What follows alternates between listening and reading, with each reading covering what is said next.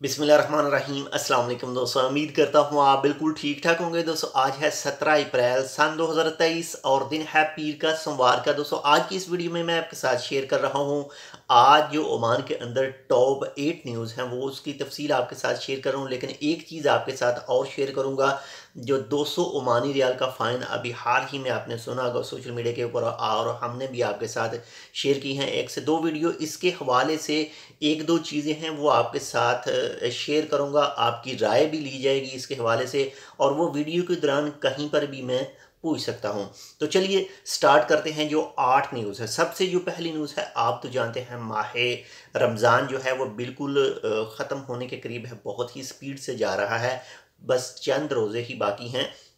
अल्लाह ताला आपकी तमाम जो इबादतें आपने इस माह मुक़दस में की हैं, अल्लाह ताला उनको कबूल मंजूर फरमाए और कुछ ऐसे जहन भी मौजूद हैं जो माह रमज़ान के ख़त्म होने का इंतज़ार कर रहे थे और ख़त्म होने के बाद में जो उनकी तैयारियाँ हैं वो ज़ोरों शोर पर मौजूद हैं और हो भी रही हैं। तो इसी हवाले से ओमान कस्टम ने जो है वो बीस हज़ार से ज़्यादा अल्कोहल बेवरेज की जो बोतलें वगैरह हैं कैन वगैरह हैं, वो पकड़े हैं और उसको बहुत ही टाइटली तौर पर जो पानी के कैन हैं, उनके अंदर छुपाया गया था। वाटर कैन के अंदर जो है, उनको छुपाया गया था।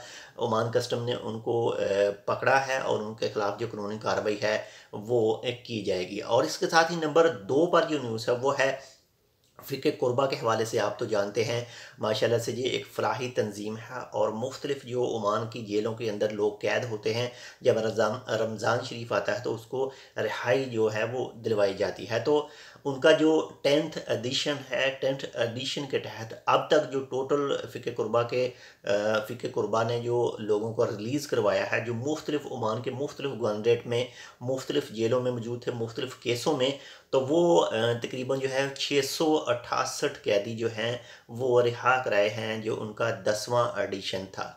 इसके साथ ही नंबर तीन पर जो न्यूज़ है, वो है मस्कत बल्दिया की तरफ़ से मौला सूक मार्केट जो है, यानी जो फ्रूट और सब्ज़ी की मार्केट है, उसके टाइम टेबल के बारे में बताया गया है कि कब खुलेगी, कब बंद होगी।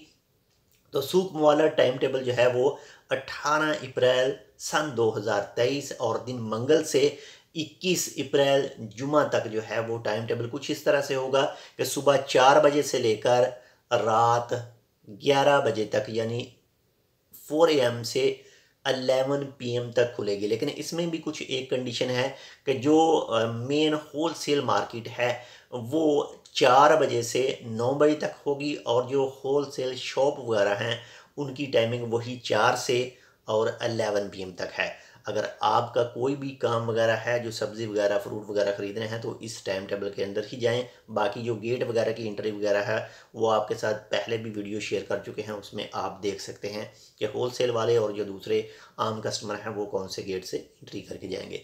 इसके बाद में नंबर चार पर जो न्यूज़ है, वो है ओमान मौसम के हवाले से। ओमान के महकमे मौसमियात के मुताबिक कहा गया है कि एक, जो बारिश का सिस्टम है, बारिश का एक जो वो कल से स्टार्ट हो रहा है, यानी कल से मंगल 18 अप्रैल से लेकर और जुमा 21 अप्रैल तक रहेगा। ओमान के मुख्तलिफ़ हिस्सों में अफेक्ट करेगा, जिसके ज़रिए बारिश वगैरह, तेज़ हवा वगैरह वो चल सकती है, बादल छा सकते हैं। और इसका सबूत आज भी आपके सामने कुछ इलाकों में देखा होगा, आपने सुना होगा।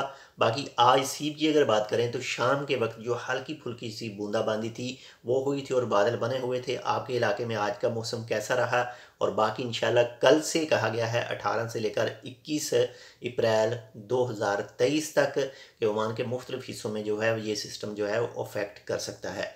बाकी जो फैसले अल्लाह ताला के होते हैं, वही सही होते हैं। बाकी इसमें थोड़ा बहुत जो है, वो चेंज हो सकता है। बाकी वो भी आगे नेक्स्ट आपके साथ तफसील जो है वो शेयर की जाएगी। इसके बाद में नंबर पाँच पर जो न्यूज़ है वो है, कल ओमान के सुल्तान जनाब हैतम बिन तारक साहब की तरफ़ से एक जो शाही फरमान है वो जारी किया गया और उस शाही फरमान के मुताबिक जो है ओमानियों को अब खारजियों के साथ शादी करने के लिए जो पहले एडवांस में एक इजाज़तनामा लेना पड़ता था, वो अब उनको लेने की इजाज़त नहीं होगी, यानी वो डायरेक्टली तौर पर शादी कर सकते हैं। लेकिन इसके हवाले से अगर आपको मालूम चाहिए तो आप इनके वजारत जो है वजारत दाखिला उसके साथ कॉन्टेक्ट करके मज़ीद मालूम हासिल कर सकते हैं। बाकी जो मुख्तलिफ़ सोशल मीडिया पर इसके हवाले से आर्टिकल भी मौजूद हैं, जिसमें तमाम जो शाही फरमान जारी किया है उसकी तमाम तफसील मौजूद है, आप वो भी चेक कर सकते हैं। बाकी मज़ीद तफसील अगर आई तो वो भी इंशाल्लाह आपके साथ शेयर करेंगे। इसके साथ ही नंबर छः पर जो न्यूज़ है, वो है द फार्ग वर्नरेट के हवाले से। द फार्ग वर्नरेट में मुख्तलिफ़ नेशनैलिटी के, मुख्तलिफ़ कौमियत के फिफ्टी एट, यानी अठवंजा बीक मांगने वाले, बीक मांगने वाले पकड़े गए हैं, जो रायल ओमान पुलिस ने पकड़े हैं और उनके खिलाफ जो कानूनी कार्रवाई है, वो भी की जाएगी। जो बीक मांगना है, ओमान के अंदर ये ममनू है। इसके साथ ही नंबर सात पर जो न्यूज़ है, वो है एक ओमानी लापता हुआ था, ओमानी लड़का था, लापता हुआ था और उसके हवाले से एक रिपोर्ट शाया की गई है कि वो मिल गया है, लेकिन वो उसकी लाश मिली है और मिली है जी जिलान बनी बूली के इलाके से। अल्लाह ताला उसकी मगफरत करे। और इसके साथ ही नंबर आठ पर जो न्यूज़ है, वो है कतर वीज़ा के हवाले से। कतर की तरफ़ से जो ऐलान किया गया है टूरिस्ट वीज़ा। अब जो दोस्त भी गल्फ़ कंट्रीज़ में रहते हैं, रेसिडेंट जो हैं, यानी वो चाहे पाकिस्तान, बांग्लादेश, इंडिया, जो भी उनकी कंट्री है, और वो इस वक्त गल्फ़ की किसी भी कंट्री में रहते हैं, ओमान में रहते हैं, दुबई में रहते हैं, या फिर सऊदी अरेबिया में रहते हैं, बहरीन में रहते हैं तो अब वो ऑनलाइन जो टूरिस्ट वीज़ा है, वो हासिल कर सकेंगे। इससे पहले सऊदी अरेबिया की तरफ़ से भी पहले सऊदी अरेबिया की तरफ़ से बस मखसूस प्रोफेशन को था और उसके बाद में हाल ही में अपडेट आई थी कि जिसका जो भी प्रोफेशन है, वो टूरिस्ट वीज़ा जो है, वह हासिल कर सकता है।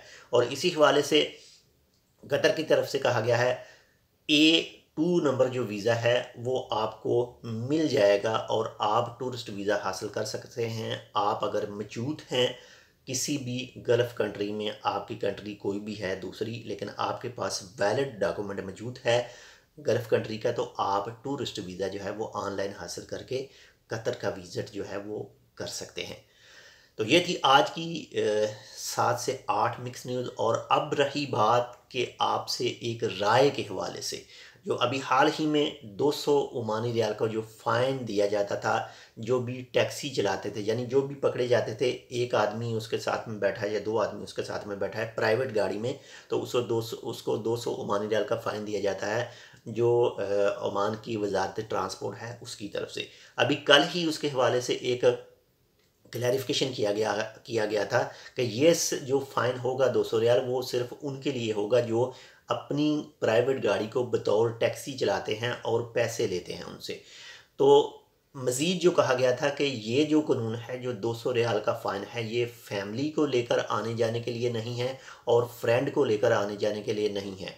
लेकिन फैमिली के हवाले से तो क्लैरिफिकेशन की जा सकती है कि ये फैमिली है, ये सब कुछ है, लेकिन फ्रेंड के हवाले से कैसे क्लैरिफिकेशन की जाएगी? बाकी इसके हवाले से कुछ जो आपकी राय है, वो लाजमी इस वीडियो के कमेंट सेक्शन में दीजिएगा। इंशाल्लाह मिलते हैं आपसे दूसरी अपडेट के साथ। तब तक के लिए अल्लाह हाफिज़।